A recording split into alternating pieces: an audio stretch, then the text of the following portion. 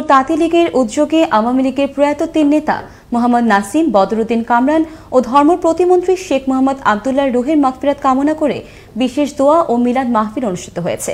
অনুষ্ঠানে মহানগর উত্তর তাঁতি লীগের সভাপতি আলহাজ হামিদ আহমেদ ও সাঁত্রিশ number ward councillor Jahangir Alam সহ মহানগর নেতৃবৃন্দ উপস্থিত ছিলেন। শেষ করব আনন্দ টিভি রাতের সংবাদ, তবে শেষ করার আগে